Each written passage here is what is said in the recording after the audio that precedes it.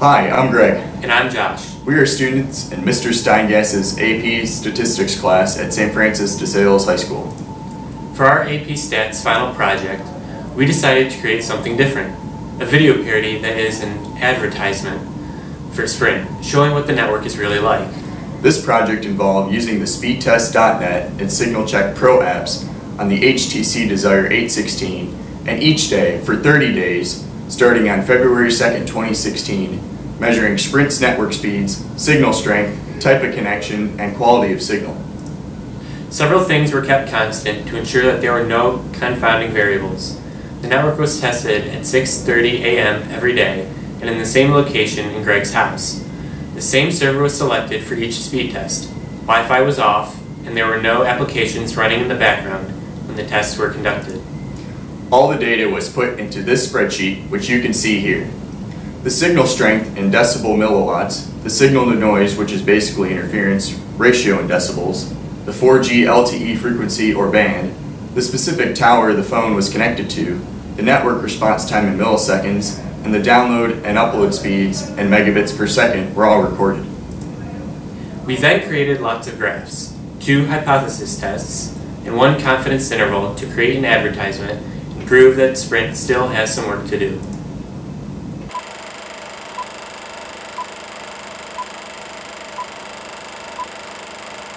Here at Sprint, we are proud to announce that for 2016, we still suck. And we have all the descriptive statistics to back that up. Our mean tested signal strength is negative 108 decibel milliwatts. That's really pretty awful. The mean signal to noise ratio is 5.367 decibels. The mean ping time is 53.57 milliseconds.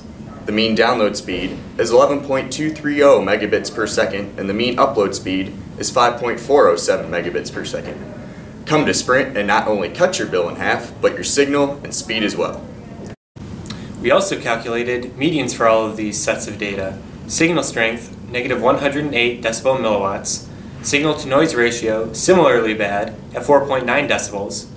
Median ping, 50 milliseconds. The median download speed is 10.79 megabits per second. And the median upload speed is 5.07 megabits per second. So why should I switch? Well, the standard deviation of the signal strength is 4.09 decibel milliwatts. 4.09 is not large when considering the entire possible range of signal strengths, so variation among signal strength is small. The spread of signal strength is 14 decibel milliwatts. That means your signal will almost always be crappy.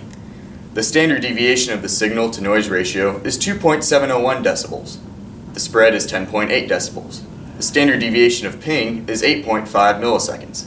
The spread is 33 milliseconds. This means variation for the signal to noise ratio in ping is quite large. The standard deviation of the download speed is 4.671 megabits per second, and the standard deviation of the upload speed is 3.054 megabits per second. Download and upload speeds, spreads, are 19.8 and 12.430 megabits per second respectively. So there is some variation in speeds. Switch to Sprint and you get variably poor service. Since the mean and median signal strength are exactly the same, we can consider signal strength to be approximately normal. The mean signal to noise ratio, ping time, download speed, and upload speed are all greater than their median counterparts.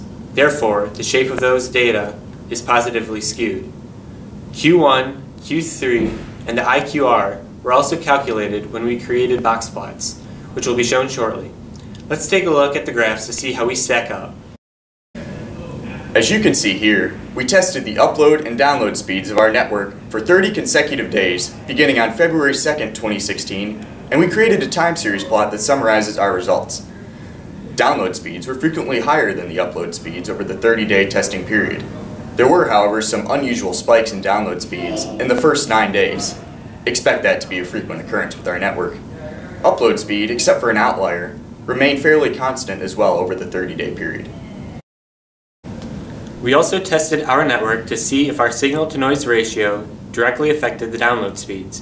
And what we found is that the equation for the best fit line is y equals 9.38 plus 0.3447x. This is the equation of the best fit line because this line yields the minimum sum of vertical deviations from the observed to the predicted value squared. Because the R value is 0.2, there is a weak positive linear relationship between the signal to noise ratio and download speeds. Because the R squared value is 0.04, only 4% of the variation in download speeds can be attributed to the linear relationship between the signal to noise ratio and download speeds. So even if your signal quality does increase, somehow our engineers can't figure out how to make your download speeds faster. We also tested to see if the signal to noise ratio directly affected the upload speeds on our network. We found that the equation for the best fit line is y equals 0.9712 plus 0.8266x. This is the equation of the best fit line because this line yields the minimum sum of vertical deviations from the observed to the predicted value squared. Because the R value is 0.731, there is a moderate positive linear relationship between the signal to noise ratio and upload speeds. Because the R squared value is 0.535, 53.5% of the variation in upload speed is attributed to the linear relationship between the signal to noise ratio and upload speed. So while our download speed might be terrible, you can upload all your cat videos faster than you would with most plans at Buckeye Cable System and take advantage of that unlimited data. Just don't attempt to play them back. As you can see here, we made a box plot to represent the data we collected. The upper portion focuses on download speeds. Download speed was centered at 10.79 megabits per second and shaped approximately normal. The minimum download speed was 5.27 megabits per second, and the maximum was 25.1 megabits per second. The first quartile is located at 8.71 megabits per second, and the third quartile is at 12.19 megabits per second. This results in the middle 50% of data being within 3.48 megabits per second also known as the interquartile range. There are two mild outliers and one extreme outlier. Including outliers, the spread is 19.83 megabits per second, which is quite large. When outliers are excluded, the spread is 11.32 megabits per second. The lower portion of the graph focuses on upload speeds. Upload speed was centered at 5.07 megabits per second, and it shaped approximately normal. The minimum upload speed was 0.62 megabits per second, and the maximum was 13.05 megabits per second. The first quartile is located at 3.28 megabits per second, and the third quartile at 7.02 megabits per second. This results in the middle 50% of data being within 3.74 megabits per second, also known as the interquartile range. There is one mild outlier, which happens to be the maximum upload speed tested, Including the outlier, spread is 12.43 megabits per second, but excluding outliers, it was 9.61 megabits per second. These outliers sure are nice, but don't expect them in day-to-day -day use. These dot plots depict each data point for download and upload speed given each LTE band. For download speed on band 25, the mean value is 10.025 and the range is 17.08. The shape of this dot plot is positively skewed. The dot plot for band 41 has a mean value of 12.606 and a range of 19.42. The dot plot is also positively skewed. Based on the mean values, band 41 seems to be faster in terms of download speed, but band 41 has a more variable range. For upload speed on band 25, the mean value is 6.294 and its range is 11.28. The shape of this dot plot is roughly positively skewed. The dot plot for band 41 for upload speed has a mean value of 4.394 and has a range of 9.38. Its shape is approximately normal. For upload speeds, band 25 is a higher mean value than band 41, so it is faster on average. However, band 25 has a larger range, so it is more variable. This graph displays the mean upload and download speeds for each of the two tower locations tested. As one can see, when the phone was measuring download speed, speeds were much higher, averaging nearly 12 megabits per second when connected to the tower at 3620 Secor Road. When connected to the tower on the University Parks Trail, download speeds were slower, averaging just under 9 megabits per second. However, the mean results differed when the phone was measuring upload speeds. Mean upload speed was nearly identical when the phone connected to either the tower at 3620 Secor Road or near the University Parks Trail at almost 6 megabits per second. Next, we constructed a 90% confidence interval to see if the sample download speeds recorded represent the true population proportions of download speeds.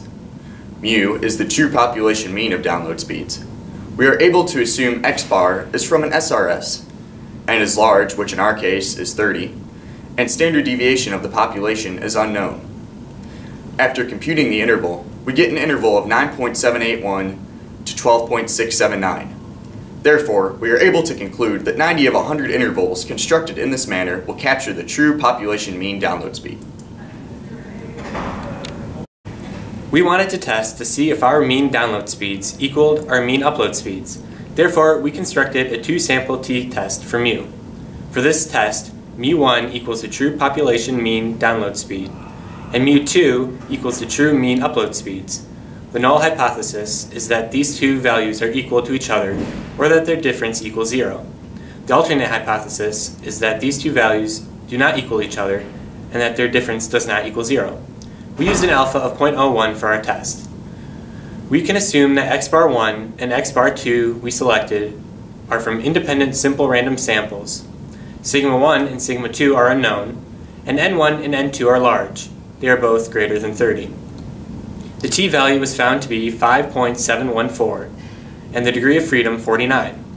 The p value was found to be approximately zero. Therefore, we have to reject the null hypothesis because there is significant evidence to suggest that the mean download speed does not equal the mean upload speed. Next, we just had to ask ourselves, is there an association between the LTE band and the tower location? For that, we conducted a chi-square test for independence. For this test, there is nothing to define. But the null hypothesis is that the population has no association between LTE band and tower location. And the alternate hypothesis is that there would be an association. For alpha, we chose 0.01 we can assume that all observed cells are from a simple random sample. Another assumption for this type of test is that all expected cells are greater than or equal to 5, but unfortunately that assumption cannot be met when we calculated our expected values. The chi-squared result is 5.249 with degree of freedom being 1. The p-value is 0.021947.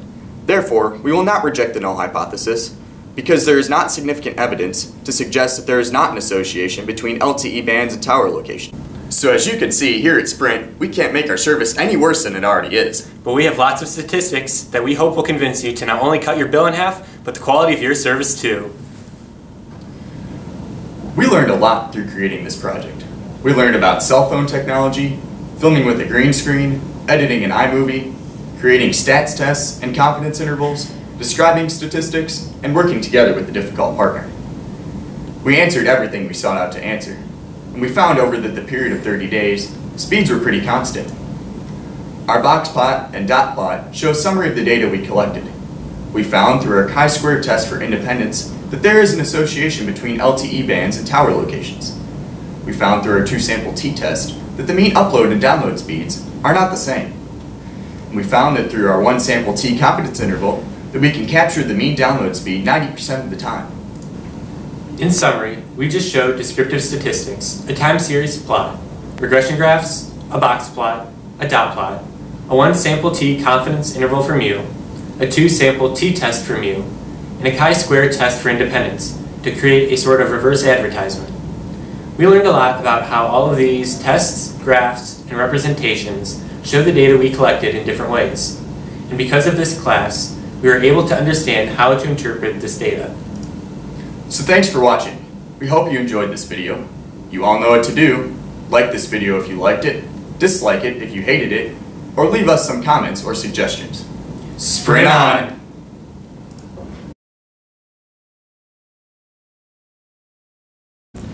We also tested our network to see if our signal to noise ratio directly affected the download speeds.